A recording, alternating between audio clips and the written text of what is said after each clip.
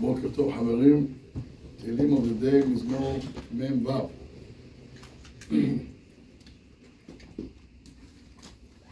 דיני מים אחרונים. הלכות of מים אחרונים. כתוב בתורה, והתקדישתם והייתם קדושים. קדושים. And Hazar tell us why it says double. והתקדישתם והייתם קדושים. אומרת הגמרא, והתקדישתם, meaning to become קדוש, אלו מים ראשונים. meaning, אדם טמא, he wants to go ahead and do אכילה, no, you can't. You have to go wash your hands. washing your hands במקום טומאה, יהיה טהרה. זה נקרא בהתקדישתם. אדם צריך להיות קדוש, טמא, אתה עושה נטילת ידיים, על ידי זה הוא מתקדש. That's והתקדישתם. והייתם קדושים, again, why it is a, a, a double, אלו מים אחרונים. So מים ראשונים that's called והתקדישתם, מים אחרונים that's called והייתם קדושים. נסביר את זה קצת יותר. הלכה is, אדם שהוא מזוהם, someone that his hands are dirty, he cannot do עבודה עם בית המקדש. הוא לא יכול לעשות עבודה בבית המקדש. And therefore, אם הידיים מזוהמות, כמו ש... the same way, if somebody, his, his hands are dirty, he cannot do עבודה עם בית המקדש, so too, אם אדם, his hands are dirty, הוא לא יכול לעשות ברכה. אומר המשנה ברורה, משום שהידיים מזוהמות הן מן האכילה, פסולות לברכה. And therefore, אם אדם רוצה לעשות ברכת המזון, the same way, you cannot do עבודה בבית המקדש, כי הדם שלך מזוהמות, so too you cannot do ברכת המזון, if your hands are dirty. So למדנו ככה, דבר ראשון, מים אחרונים יש בזה משום קדושה. Maim Hawarim, beside Kedusha, you cannot do bracha while your hands are dirty. And what if someone that doesn't hear, sorry, that he doesn't say Bekat Amazon, rather he hears the Bekat Amazon from somebody else.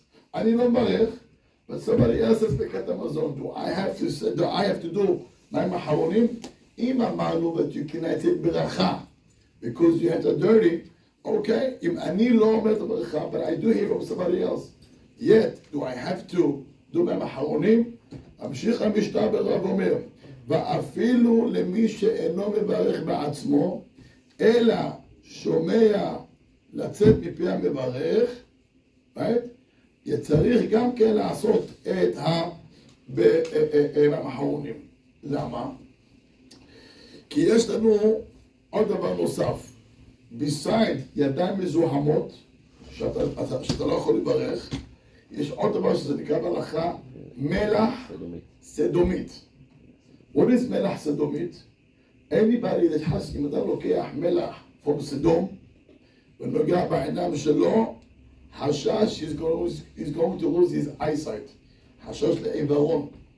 לכן, אומר ההלכה, אומרת ההלכה, אם אדם עכשיו אכל, and you had salt in your סעודה, יכול להיות, יכול להיות שיש פה מלח סדומית, ואם יש, ואם יש פה מלח סדומית, יש פה חשש של עיוורון.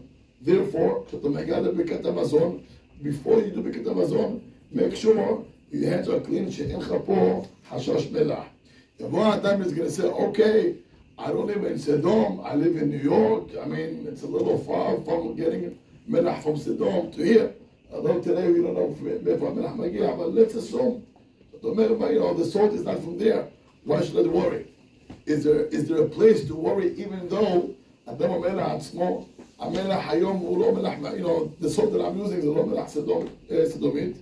אומר ככה, ואף עכשיו שאין מצוי מלח סדומית, maybe I would do the, the salt that we have today, it's not from Sodom, it's from different country. וסתם מלח, regular salt, מן הסתם הוא לא מסמא את העיניים. אומר משתמע, יש לחוש למלח אחר שטבעה כמותה. מה הכוונה? You write, we know for sure, מלח from סדום, יש בו חוזק שיכול ל- ל- ל- ל- ל- ל- לסמן את העיניים. You know that the, המלח that comes from סדום has the power לגרום לאדם to lose his eyesight. נכון מאוד. אבל בדסות שלא מגיע מסדום, אומר המשנה ברורה, יש חשש that even other kinds of salt that comes from different country, it's not from סדום, אבל יש the same טבע שיכול לגרום לך to lose your eyesight. זאת אומרת, ש-no matter what, גם אם אתה עיר משום מדין וייתם קדושים, או משום מזוהמות, או משום מלח סדומית, או לפי עניינים כאלו, אנחנו עושים מים אחרונים.